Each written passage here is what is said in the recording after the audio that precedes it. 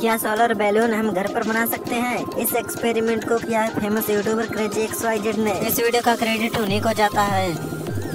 पहले एक काली पन्नी लेते हैं फिर उसमें हवा भरते हैं। आप भी इस तिरंगे का सम्मान करते हैं तो इस वीडियो को लाइक